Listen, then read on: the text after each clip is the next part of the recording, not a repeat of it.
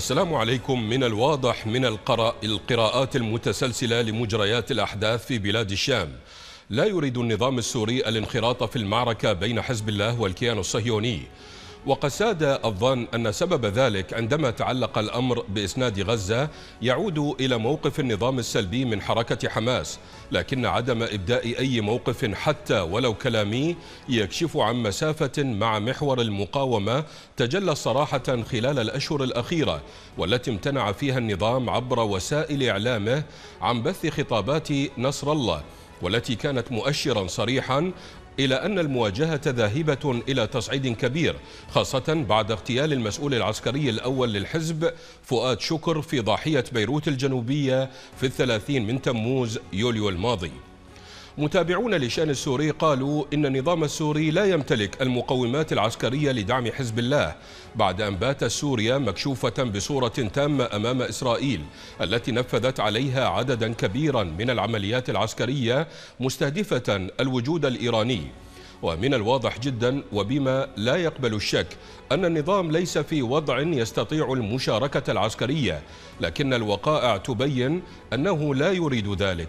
ولو على نحو رمزي وإلا كيف نفسر موقف الأسد مما جرى ويجري في لبنان حيث وصف موقف النظام السوري بالمتفرج عما يعانيه حزب الله ومن قبله قطاع غزة أمام الضربات الإسرائيلية الموجعة سواء استهداف الضاحية أو زعيم حزب الله حسن نصر الله الذي قال في وقت سابق من الأوقات إنه مستعد للذهاب بنفسه إلى سوريا لمحاربة الإرهابيين على حد وصفه. هناك أحاديث تترى على موقف النظام السوري تعزى إلى رغبة موسكو في ابتعاد بشار الأسد عما يسمى بمحور المقاومة. وهذا بحسب المفاهيم السياسية أن دمشق ربما أقول ربما تريد الخروج من عباءة إيران. وهذا لن يحصل أبدا وذلك لتغلغل النفوذ الإيراني في سوريا منذ اندلاع الثورة عام 2011 وتحكمه بالقرار والمشهد السياسي والعسكري. وما زيارة وزير خارجية إيران عباس عراقشي ولقاؤه ببشار الأسد قبل عدة أيام إلا دليل على بقاء النظام تابعا ذليلا لولاية الفقيه كما يصفها المراقبون السوريون. وضمن هذه المعطيات نطرح مجموعة من التساؤلات. لماذا يبدو موقف النظام السوري من الحرب الإسرائيلية ضد حزب الله الأكثر إثارة للاهتمام والمراقبة؟ مع حقيقة توجيه إسرائيل ضربة لن تستثني في مرحلة ثانية استهداف النظام السوري هل يرتبط النظام السوري وحزب الله بوحدة المصير ضمن ما يسمى بمحور المقاومة وما يلحق أحدهما من ضرر سينعكس تلقائيا على الطرف الآخر؟ وهل من المتوقع أن يرد النظام السوري على الهجمات الإسرائيلية التي استهدفت حي المزة في العاصمة دمشق أكثر من مرة وقتلت قياديين من الحرس الثوري الإيراني وحزب الله الحليفين القويين للنظام؟ وأين صوت بشار الأسد الذي اكتفت الرئاسة السورية برسالة خجولة نعت فيه نصر الله مما اعتبرها المراقبون أنها واجب شكلي هدفها رفع الحرج لا أكثر عن الرئيس الأسد وما غاية موسكو التي بحثت من خلال وزير خارجيتها سيرجي لافروف العام الماضي مسألة أساسية وهي ضرورة إعفاء النظام السوري من التزامات ما يعرف بمحور المقاومة. هذه المحاور وغيرها سنطرحها في برنامج حديث العرب لهذا الأسبوع الذي يحمل عنوان هل خرج نظام الأسد من محور المقاومة سيكون معنا عبر سكايب رئيس هيئة الإنقاذ السوري الدكتور أسامة الملوحي. مرحبا بكم دكتور أسامة. حياكم الله حياكم الله. حياك الله. والإعلامي والباحث السياسي الأستاذ زياد المنجد. أستاذ زياد مرحبا بكم. أهلا وسهلا بك أخي العزيز. حياك الله. مشاهدينا وسيلتحق معنا الكاتب والصحفي الأستاذ أحمد كامل. أستاذ أحمد موجود معنا. أهلا ومرحبا بكم أستاذ أحمد. مرحبا. حياك الله. مشاهدينا الكرام ضيوفنا سنذهب إلى فاصل قصير ونعود بإذن الله.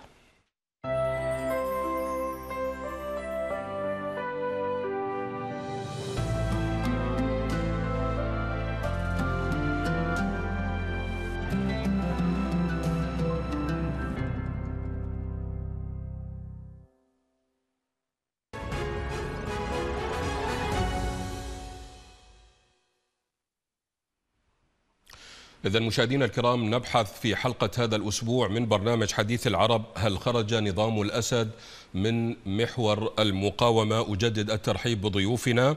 آه، آه، دكتور أسامة جاهز. دكتور أسامة؟ طيب دكتور أسامة مرحبا بكم. دكتور كما تعرف يعني لم يصدر أي تصريح من قبل بشار الأسد. آه، يبدو أن دكتور أسامة غير جاهز. أنتقل إلى أستاذ زياد المنجد.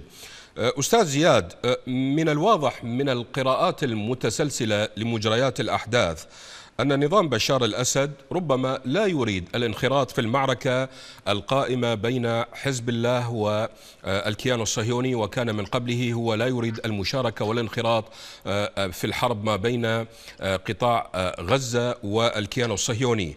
إلى أي مدى بات الأسد خارج معادلة ما يعرف بمحور المقاومة؟ اولا تحية لك ولضيفي لضيفاك الأعزاء وللساده المشاهدين. آه، طبعا النظام السوري منذ عهد الأسد الأب ليس مهتما بمحاربه العدو الصهيوني. فالجولان المحتل وبعد عام 1974 لم يطلق النظام السوري طلقة واحدة على الكيان الصهيوني وهنالك اعتداءات متكررة آه، على من الكيان الصهيوني على الأراضي السورية ولا رد على أي آه، هجوم آه، قام به الكيان الصهيوني على سوريا. وبالتالي فما يسمى بمحور المقاومة والممانعة أنا أعتقد أنه هو بعيد كل البعد ولكن إيران التي تضع يدها الآن على سوريا وتتحكم بالشأن السوري هي التي خرطته في هذا المحور وهي التي أرادت أن يكون ولكن عمليا هو لا يريد أن يكون جزءا من محور المقاومة والممانعة لأن هنالك اتفاقية سلام وفض اشتباك بينه وبين الكيان الصهيوني وكما قلت ايران أقحمته غصبا عنه عن هذا الموضوع. نعم. اولا هنالك رسائل وكل المعلومات تقول أن آه، روسيا نقلت رسائل من الكيان الصهيوني إلى نظام الأسد أنه اذا إذا ما تمت مشاركته في الحرب الحالية مع الكيان الصهيوني فإن نظامه سيكون متلاشي.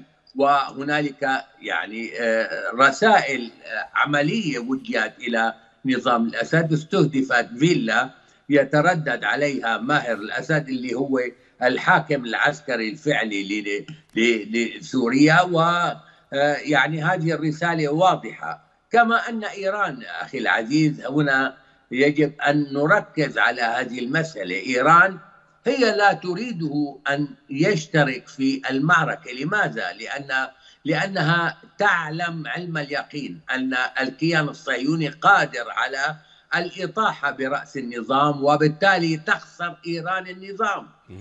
يعني عندما تنتهي قيادة حزب الله فأن هنالك الطائفة الشيعية يمكن أن تكمل الطريق. ولكن إذا خسرت إيران النظام فسوريا المجتمع السوري ليس في حالة في حال تأييد لملالي طهران وغير منسجم معه. يمكن أن تخسر إيران مواقعها في سوريا وبالتالي تفقد آه، يعني جزءا تعبت من أجل إيجاده خلال سنوات طوال ولذلك فهي رسالة من الكيان الصهيوني لنظام الأسد إضافة إلى أن إيران لا تريد أن تفرط ب نظام الأسد لأن مصلحتها طيب. في بقاء هذا النظام. اذا إيران لا تريد التفريط بنظام الأسد، أستاذ أحمد كامل أه، يعني تجلى موقف الأسد خاصة خلال الأشهر الأخيرة امتنع فيها النظام عبر وسائله الإعلامية عن بث خطابات نصر الله والتي كانت ربما تكون مؤشرا صريحا إلى أن المواجهة بين حزب الله والكيان الصهيوني أه، ذاهبة إلى تصعيد كبير يعني ما ذكره الأستاذ زياد هل نفهم منه أن هذا الموقف موقف نظام الأسد صحيح أنه قد أعلن الحداد لمدة ثلاثة أيام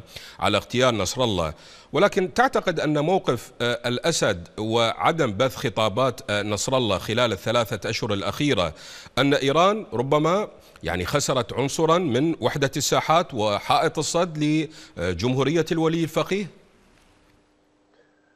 الشعب السوري عندما ثار أسقط النظام في عام 2012 فاضطر النظام لاستدعاء حزب الله اللبناني قوة غريبة لكي يبقى في السلطة. ما مشي الحال. استدعى النظام الإيراني وأتباعه في العراق وفي اليمن وفي أفغانستان وباكستان. ما مشي الحال. فشل النظام الإيراني وفشل حزب الله في نعم. حماية النظام. فاستدعى روسيا وبالتالي الكلمة الآن في مناطق وجود النظام يعني نصف سوريا يعني فقط ثلث الشعب السوري. فقط ثلث الشعب السوري 9 ملايين نسمة بالضبط تسعة ونص. نعم. هن اللي تحت حكم النظام وإيران وروسيا. فبشار الأسد ما عنده سلطة مطلقا والذي قرر بأن النظام ما يتدخل في القضية الفلسطينية ولا في إنقاذ حزب الله على الأرجح هو الروسي. إيران ليست الحاكم الوحيد لسوريا أبدا. أبدا يوجد قوة أخرى تنافسها على نصف سوريا وثلث سكان سوريا. ومن حيث المبدأ النظام السوري همه البقاء في السلطة. أما أنه يتدمر حزب الله لا تتدمر غزة فهذا شيء لا يعنيه أبدا. ويجب أن ننتبه إلى أنه في وهم إعلامي من أن حزب الله يخوض معركة لصالح فلسطين ولصالح غزة. ولكن ولكن ولكن في الحقيقة خليني أكمل معلش. العفو تفضل. حزب الله لا يخوض معركة يتعرض للتفكيك والقضاء عليه. ما في معركة. في واحد يضرب هو الطرف العدو الإسرائيلي والطرف الثاني يتعرض لضرب للقضاء عليه. لا النظام السوري يتدخل وهذا لا شك فيه ولا إيران تتدخل. لا أحد يساعد حزب الله الآن في ورطته النهائية. هذا خلاصة الكلام. دكتور أسامة آه، مرحبا آه، آه، في حديث العرب. يعني لم يصدر أي تصريح وهذا غريب جدا من قبل نظام الأسد حول اغتيال نصر الله. ولكن اكتفت الرئاسة السورية برسالة نعي وتعزية آه، دون الإشارة إلى لغة الانتقام لمقتل حليف بشار الأسد القوي آه، حسن نصر الله كيف يمكن تفسير هذا الموقف؟ الرحمن الرحيم آه نحن عندما نتكلم في السياسة يعني نرجح لا نجزم ولكن في قضية ضرورة وجود بشار الأسد لإسرائيل ضرورة وجوده وضرورة وجود أبيه من قبله هذه ليس فيها ترجيح وإنما فيها حقائق وإثباتات من أيام المقبور نعم. حافظ أسد. وهذا هذا القزم يعني الذي استلم. فلذلك نحن يعني لا نقولها عبارة عن يعني نحن من الثورة السورية المباركة لا نقول هذا الكلام يعني للشتيمة أو لتجريح هذا النظام بشيء ليس فيه. فلذلك دعني يعني الأدلة كثيرة جدا على أن هذا النظام حامي حماء إسرائيل. نعم هو لديه حيز ضمن استهلاك الشعار استهلاك الشعارات والاستفادة ماديا من استهلاك الشعار وبيع الشعارات. وإسرائيل ليست متضرره من استخدام واستهلاك هذه الشعارات. اليوم هناك فرق والفرق ليس كبير وإنما ربما وصل لعلم بشار الأسد بأن الدولة العميقة في إسرائيل تريد تغيير العوامل التي كانت ثابتة تقريبا من 2006 حتى اليوم. نحن نتكلم عن 18 سنة. نعم. من الاستقرار تجاه إسرائيل الذي صنع هذا الاستقرار هو بشار الأسد. حتى أن هناك طفى إلى السطح. عدة أخبار. على مر السنين أنه حزب الله لديه صواريخ في المخازن السورية الصواريخ الضخمة الاستراتيجية السكود كله موجود في المخازن السورية وبشار الأسد صمام الأمان حتى تجاه حزب الله.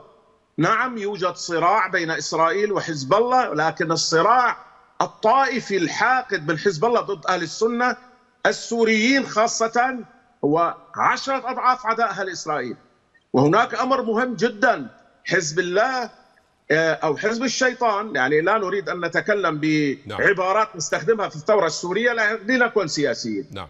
حزب الله دخل في شيء مهم جدا. هو أيضا استهلك الشعارات واستخدمها وحصل آه، نصر الله حصل على أوسمة وكلام يشبه الأوسمة. أنه سيد المقاومة وحتى أن أن ذلك انعكس على تشيع في العالم كله من وراء السمعة التي حصل عليها حسن نصر الله من وراء مواجهاته السابقة لإسرائيل وكانت مواجهات حقيقية لكن ليست بمستوى التهديد الخطير لإسرائيل وعندما علمت إسرائيل أن حزب حسن نصر الله يريد المنطقة الحدودية التي فيها حاضنة شعبية مخلصة جدا له نعم. لحسن نصر الله انسحبت نعم.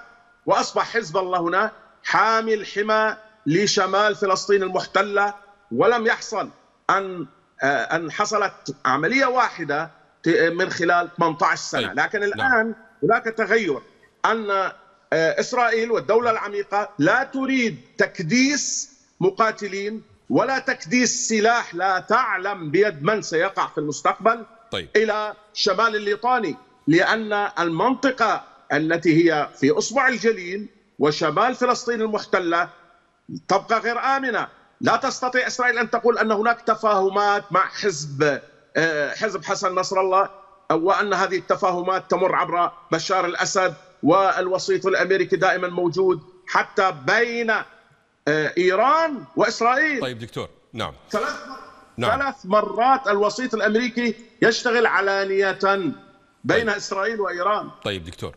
آه، أستاذ زياد آه، يعني هناك من يقول إن يعني بشار الأسد لم يتخلى عن محور المقاومة. لكن المشكلة وين أستاذ زياد؟ أن النظام السوري لا يمتلك المقومات العسكرية لمجابهة التكنولوجيا المتطورة والسلاح المتطور لإسرائيل وأن سوريا باتت بالضبط يعني مكشوفة أمام آه، إسرائيل. وأيضا يضاف إلى ذلك أن آه، النظام أنهك 13 سنة حرب ضد شعبه ضد الشعب السوري. وهو بالتالي موقفه من محور المقاومة محور فعال ولكن تنقصه آه، المقومات العسكرية. ما مدى مقبولية هذا التبرير أستاذ زياد؟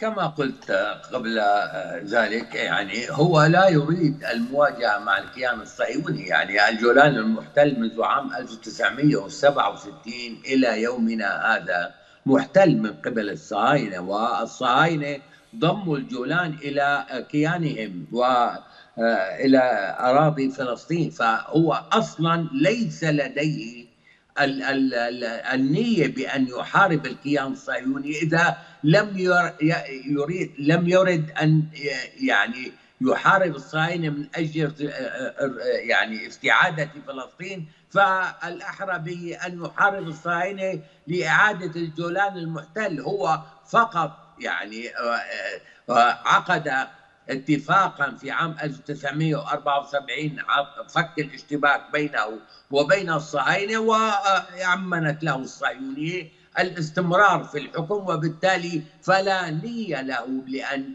يحارب الكيان الصهيوني. هذا لا يعني لا لا يعني أن آه، هنالك فارقا في القدرة العسكرية بين الكيان الصهيوني وبين ما يمتلكه نظام الأسد ولكن النية الحقيقية لدى النظام أنه لا يريد أن يحارب وأنه خلاص يعني انتهت القصة وبالتالي يعني أصبح هنالك تساكنا بينه وبين آه، آه، الكيان الصهيوني هو يريد فقط نعم. الاستمرار بالسلطة واي أي شيء يمكن أن يقوم به تجاه الكيان الصهيوني هو تهديد لسلطته وبالتالي فهو يصمت ولا يحرك ساكنا في المنازلة مع الكيان الصهيوني. أستاذ أحمد قيل إن روسيا على لسان وزير خارجيتها سيرجي لافروف يعني حث نظام الأسد على الابتعاد عن محور المقاومة وحتى لا تخونني الذاكرة، يعني هذا حدث في أعتقد تشرين الأول آه، الماضي من عام 2023. ما هدف موسكو من ذلك وهو ابتعاد النظام عن محور المقاومة؟ آه، اولا يجب أن نعرف بأنه آه، كلامك صحيح من أنه النظام لا يستطيع آه، أن يواجه العدو الإسرائيلي. طيب. هذا ليس الآن ليس بسبب الثورة. هذا منذ وجد هذا النظام. هو نظام مركب ومسلح بطريقة ليس لمحاربة إسرائيل ولا أحد. وإنما لمحاربة الشعب السوري، فليست الثورة هي التي أفقدت هذا النظام.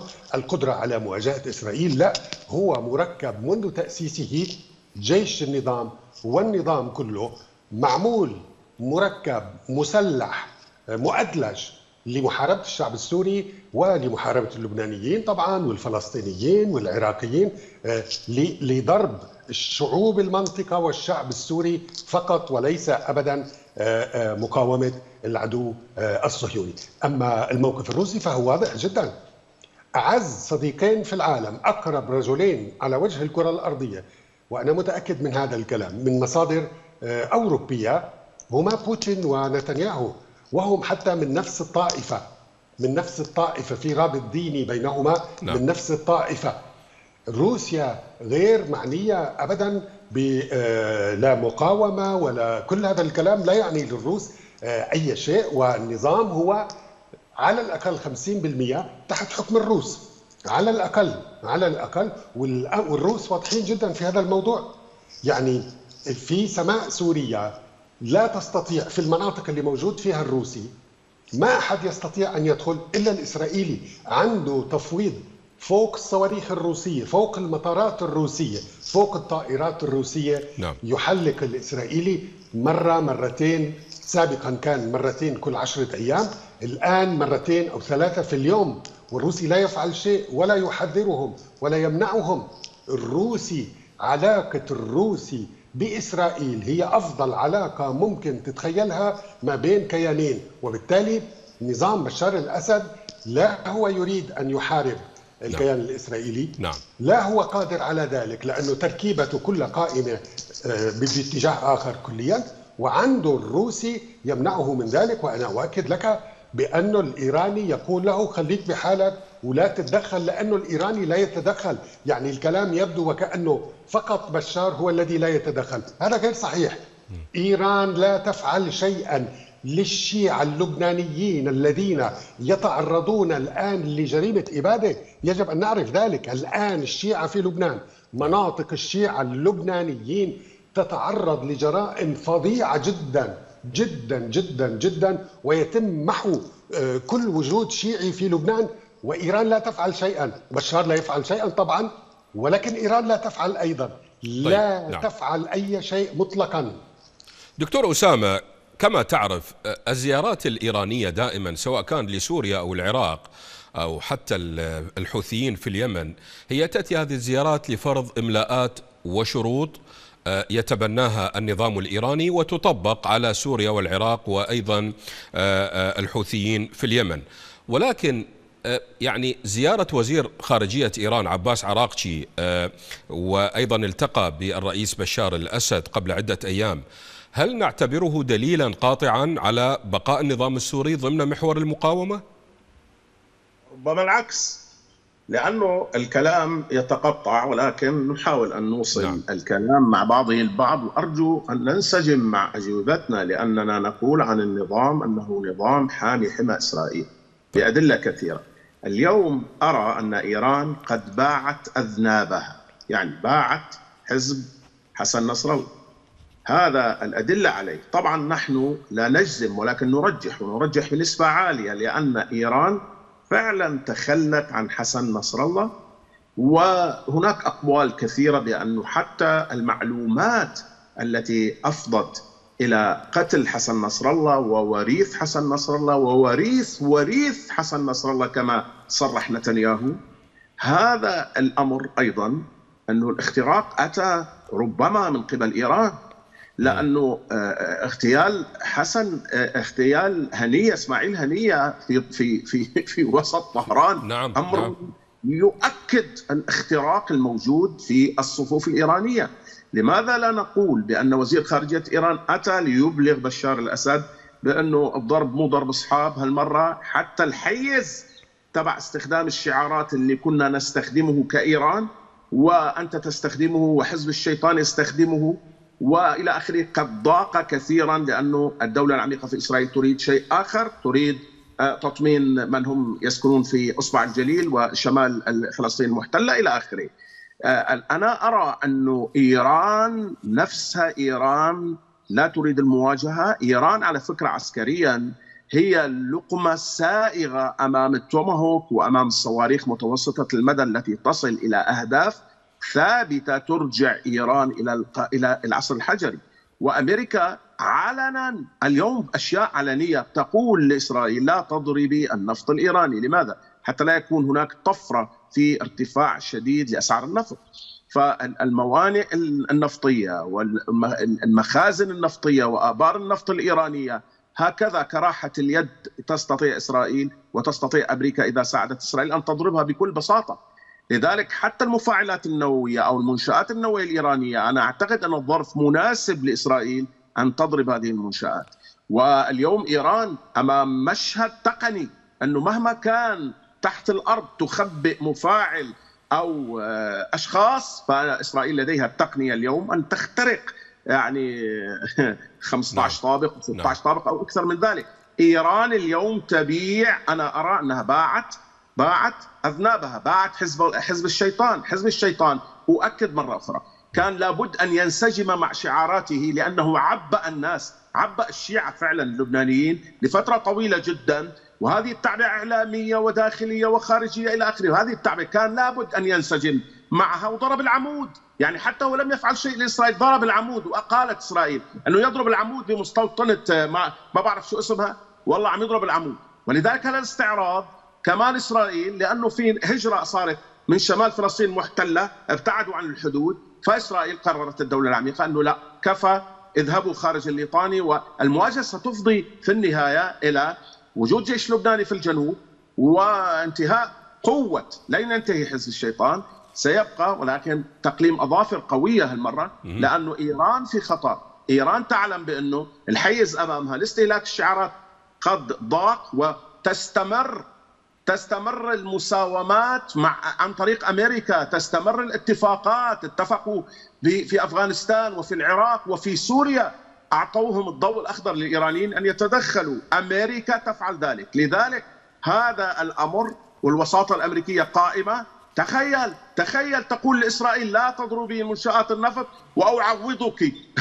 تخيل نعم أمريكا نعم. ساعوضك نعم. لا تضربي كذا وافعلي كذا، اذا الأمر يبدو أنه هناك أيضا رسالة من أمريكا أعتقد من أمريكا إلى إيران كما قلنا الوساطات والمفاوضات مرة بيقول لك عمان يعني هي التي استضافت الوساطة الأمريكية الإيرانية الإسرائيلية ومرة بيقول لك كذا وكذا لكن أعتقد أن الأمور مباشرة اتفاقات من تحت الطاولة طيب. وأعتقد أنه آه، إيران أبلغت من قبل أمريكا أنه هذا الحيز الذي يعني سمحنا لك به انتهى طيب. وهناك تغيرات وربما حتى رسالة من أمريكا إلى بشار الأسد مباشرة لا يوجد الآن شيء غير مباشر يا طيب. يا أستاذ العزيز دائما الآن مباشر خلي يقول له خلاص هذا الحيز روحوا لا كثير تهتم لحسن آه، الصيناء وانتهى الموضوع آه، أستاذ زياد هناك شائعات وأنت إعلامي وتعرف الفرق بين الشائعة والقول الشائعة لا مصدر لها آه، هناك من يتحدث آه، وأطراف قريبة من إيران تقول بأن آه، أطراف من النظام السوري على تعاون مع الأجهزة الإسرائيلية والأمريكية والتي زودتها بمعلومات عن مواقع إيران وحزب الله داخل سوريا.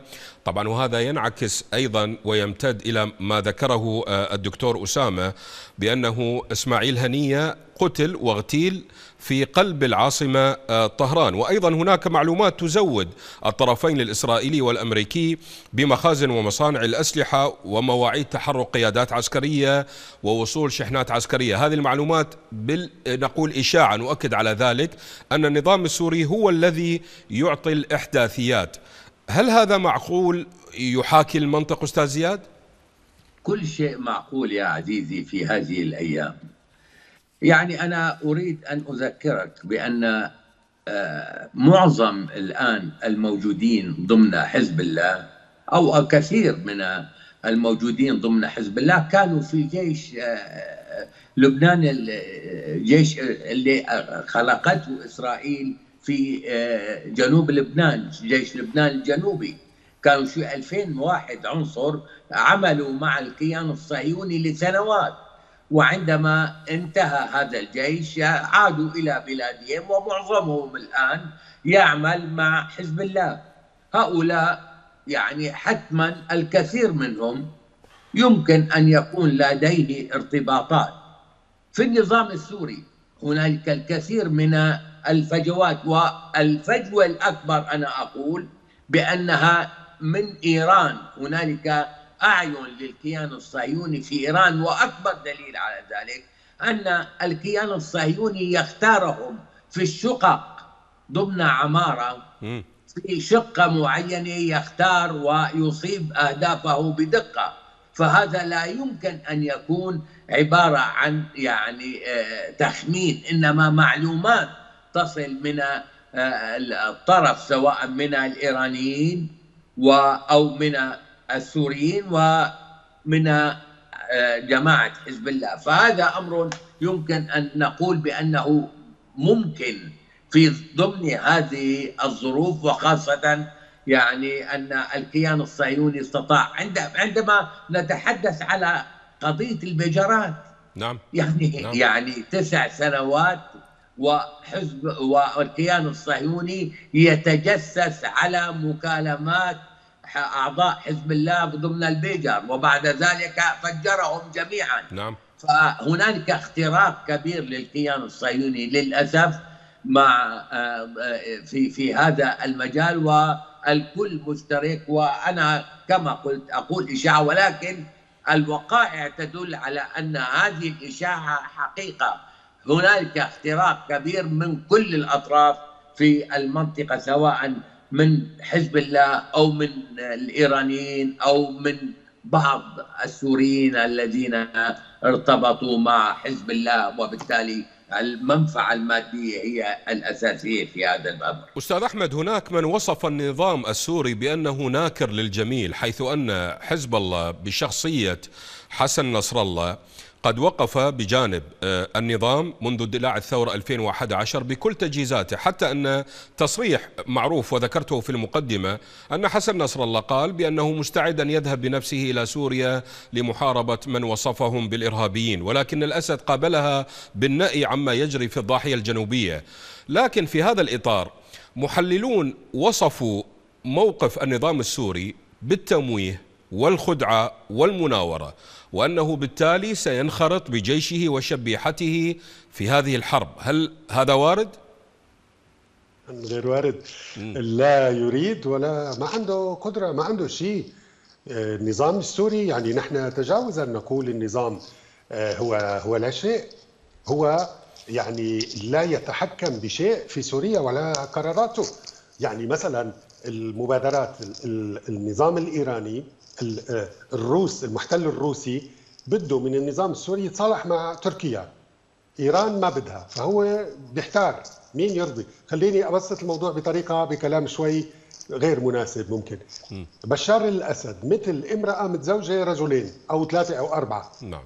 ومحتارة مين ترضي فيهم. وضع شاذ غير طبيعي ما عنده القدرة إنه يساعد حزب الله ولا عنده الرغبة ابدا ابدا ابدا. ولذلك ما يحصل الآن حدث خطير جدا وستترتب عليه نتائج هائلة.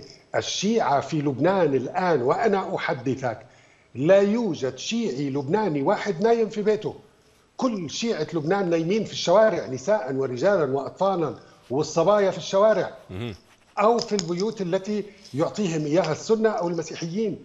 ولا شيعي واحد. أكرر وأنا متأكد من كلامي. ولا شيعي واحد ولا شيعية واحدة. في لبنان ينام في بيته. الضاحية الجنوبية فارغة مطلقا والإسرائيلي عم بيدمرها تدمير منهجي. وفي أكثر من 30 بلدة شيعية لبنانية ما عاد لها وجود. والآن كنت أسمع قبل قليل آه، واحد من كبار السياسيين اللبنانيين قال لك الموضوع لسه طويل.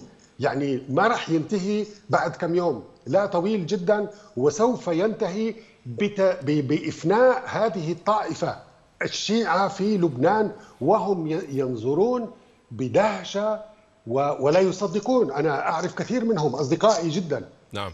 لا يصدقون ما يجري وين بشار. بالضبط كلامك بالضبط. صحيح كلامك بالضبط. صحيح. حزب الله وقف مع نظام بشار الأسد بمنتهى الإخلاص. بالضبط. بمنتهى الإخلاص الإجرامي طبعا. صحيح. عمل كل ما طلب منه في سوريا. حزب الله قام بأقصى ما يستطيع وقتل منه 2000 في سوريا. 2000 مقاتل. والاختراق العظيم اللي نحن شايفين نتائجه الآن بدأ في سوريا. في الإعلام الغربي هناك إجماع على انه الغلطة الكبيرة التي أودت بحزب الله وكشفته امنيا هذا الانكشاف كانت دخول سوريا. كان موجود في بيئة مؤيدة له حاضنة له صغيرة جدا.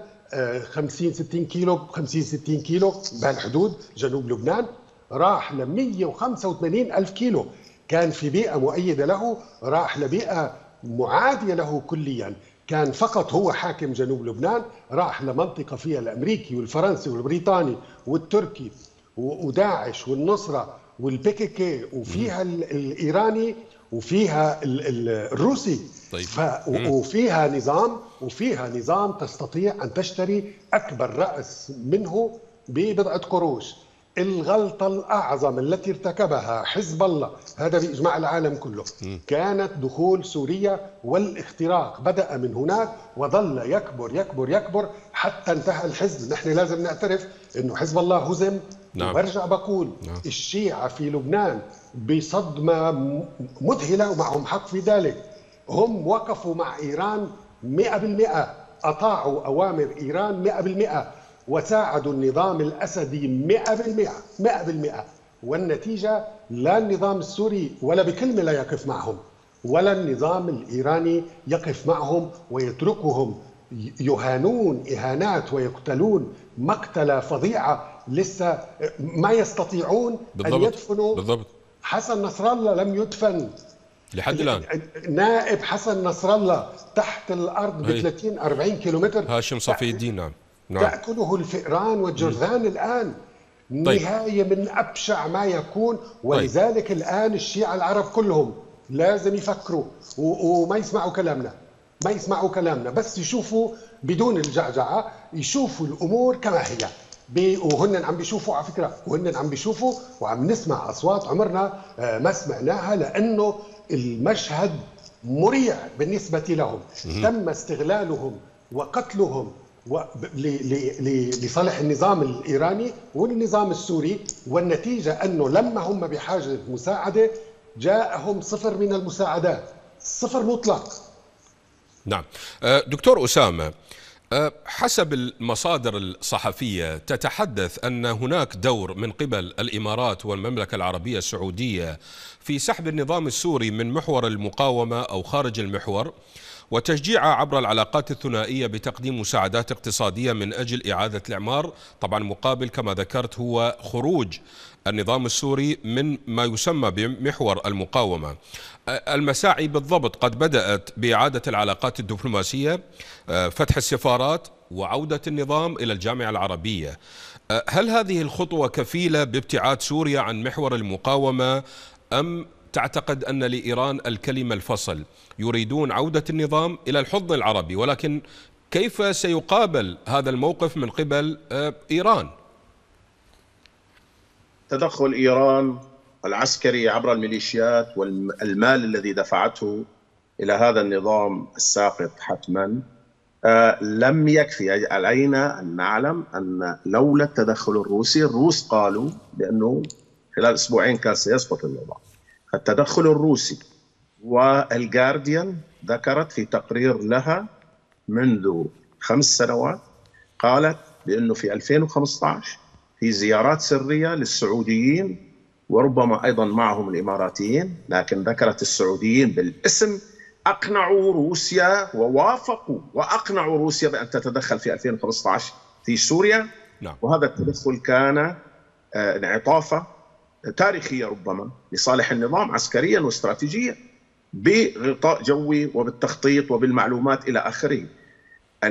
السعوديون شاركوا في إقناع روسيا واكيد بتمويل أو جزء من تمويل العمليات في سوريا، العمليات الروسية في سوريا ساهموا بالتمويل. وهناك إشارات من قبل حول الإمارات عندما زودت النظام في بداية الثورة بسيارات مصفحة اختصاصها ضرب الثوار وقتل الثوار واقتحام المظاهرات. أنا فقط أريد أن أقول لك أن الجميع يتآمر منذ البداية، حتى الذين قالوا انه والله هي دول صديقة لما يسمى بالمعارضة السورية. لم يكونوا أصدقاء وكانوا يمكن جواسيس أكثر منهم أصدقاء. وما دفع. يا رجل للجيش اللبناني دفعوا مليارين. ذهب أغلب المبلغ على أساس للجيش اللبناني ذهب أغلب المبلغ في 2013 أو 2012 نهايته. دفعوا مليارين للجيش اللبناني ذهب أغلب المبلغ لحزب الشيطان. وأنا أجزم بانه السعودية في كل تدخلاتها ضمن الفصائل و و و و في سوريا لم تدفع هذا المبلغ على الإطلاق أقل من ذلك بكثير الموضوع يا سيدي دعنا نلقي الضوء في هذه الحلقة يعني ربما لا يوجد سؤال لديك أنه لماذا يحصل ذلك اليوم في لبنان؟ لماذا يحصل كل ما يحصل ونحن نغض النظر عن غزة؟ سأقول لك أمر وأنا نعم. مسؤول عنه، أنا نعم. زرت غزة عبر الأنفاق في نهاية 2012 وأعلم أن المقاومين الفلسطينيين بكل أصنافهم بين قوسين السنة العرب هم ليسوا رصيد لإيران. على الإطلاق كلهم نسبة 95% مؤيدين للثورة السورية المباركة والله يبكون. التقينا بهم أربع أيام في 2012 نهاية 2012 شهر 10 2012 والله يبكون كلهم مع الثورة السورية المباركة. وما زالوا بتشيل 200 شخص نافق وهو يظهر غير ما يبطن وبيشكر إيران مشان تجي الفلوس. شيل 200 كبهم بالزباله البقية الباقون اللي بيقول هؤلاء رصيد لإيران لا يعلم شيء. هؤلاء رصيد لنا. هؤلاء فقط أنا أريد أن أوجه المقارنة أو الضوء على المقارنة التالية. انظر إلى وغير صحيح أستاذ أحمد كامل يقول لك والله البلدات الشيعية أبيدت. لا. المقرات تبع حزب الله وما حوله. وعمل لهم طلعوا 500 متر من هون و500 متر من هون. لكن انظر ما حصل في غزة. عملية إبادة استمرت لأكثر من سنة اليوم. ولاحظ الصمود. ولاحظ صمود الحاضنة الشعبية الفلسطينية. إسرائيل قالت لهم اذهبوا إلى جنوب شرق غزة مناطق قريبة من الصحراء. نؤمن لكم كل شيء. رفضوا. الحاضنة رفضت. الحاضنة تعود إلى شمال غزة اليوم. هذا الصمود أسطوري. علينا أن نسجله وكل ما يحدث هو من أجل أن يستأصلوا ويتفرغوا طيب. طيب. لاستئصال أهل غزة حجر وبشر ولذلك طيب. هذا هو المغزى يجب علينا أن نحوم حول هذا المحور الذي يعني حقيقة غير مسبوق غير مسبوق هذا الصمود ابدا ابدا بكل نعم اتجاهاته نعم اتجاه الحاضنة الشعبية نعم وبطولة المقاومين وما يفعلونه بإسرائيل منذ سنة إلى اليوم. أستاذ زياد آه، هناك مخاوف نقلت إلى بشار الأسد في عدم آه، مشاركته في الحرب على جنوب لبنان على حزب الله تحديدا. أنه من غير المستبعد أن تستهدف إسرائيل بشار الأسد شخصيا وبالتالي أنه لا بد من من الخروج من محور المقاومة للحفاظ على حياته. طبعا هذه بحسب مصادر أوروبية نقلت عن الرئيس الروسي فلاديمير بوتين.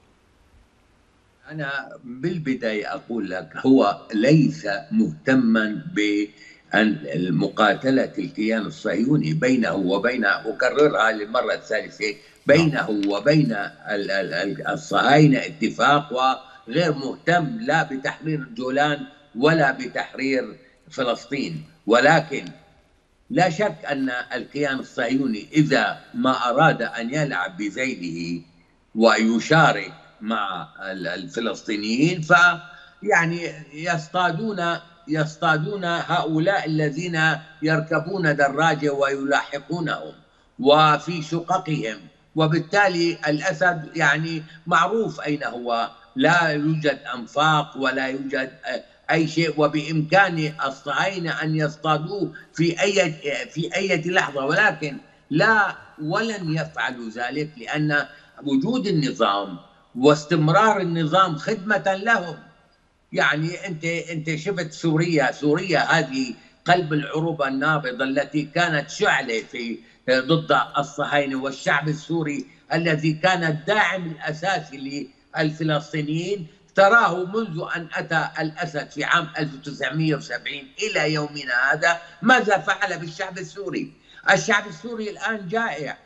ولا يستطيع تأمين لقمة العيش هكذا اوصل أوصلنا هذا النظام وبالتالي كذلك فمهما فعل هذا النظام لا يمكن للصهاينة أن يطيحوا به لأنه وجوده ضروري لتحقيق غاياتهم المستقبلية.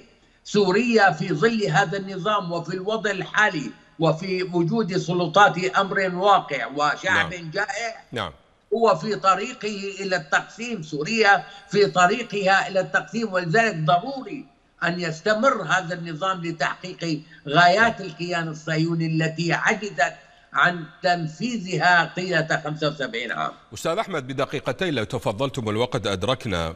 نأي الأسد عن محور المقاومة هو السبب الاقتصادي حيث آه، تراجع الدعم الاقتصادي الإيراني للنظام. إيران تطلب وطالبت بتسديد ديون بذمة نظام بشار الأسد 50 مليار دولار والنظام بشار الأسد لا يستطيع يعني ليس لديه القدرة على التسديد. إذا السبب الاقتصادي وبالتالي هو ربما في طور الخروج من ما يسمى بمحور المقاومة. بدقيقتين أستاذ أحمد. أولا كلمة محور المقاومة هي مسرحية يعني هي تحشيش سياسي. ما عمره كان في شيء حقيقي اسمه محور مقاومة ولا آه، مقاومة. هذا كله كان آه، لعب من قبل النظام الإيراني مع عملاء له في المنطقة لتحسين مواقعه التفاوضية ولتحسين ظروفه. هو عمره ما كان في مقاومة حقيقية لا من النظام السوري ولا من حزب الله ولا من النظام الإيراني ولا من كل أتباعه في المنطقة. الموضوع كله لعبة وضحك على الناس البسيطة آه، لإلهاء عن قضاياهم وللتمهيد وللتمكين للنظام الإيراني للسيطرة نعم. على المنطقة. ما في شيء اسمه محور آه، مقاومة على الإطلاق. يعني كله كلام للبسطاء الناس البسيطة جدا وللأسف آه، في حملات إعلامية الآن خلت كثير ناس تصدق هذه الكذبة. ولكن الآن هي اللحظة الحاسمة لكي يستفيق الناس من هذه الكذبة. في نهاية هذا اللقاء من برنامج حديث العرب الذي تناولنا فيه هل خرج نظام الأسد من محور المقاومة؟ أتوجه بالشكر الجزيل حيث كان معنا عبر سكايب رئيس هيئة الإنقاذ السوري الدكتور أسامة الملوحي. دكتور أسامة شكرا جزيلا لكم. وكان معنا الكاتب والصحفي الأستاذ أحمد كامل. أستاذ أحمد شكرا جزيلا لكم. وكان معنا أيضا الإعلامي والباحث السياسي الأستاذ زياد المنجي. شكرا لكم جزيلا أستاذ زياد والشكر موصول لحضراتكم مشاهدينا. إلى اللقاء.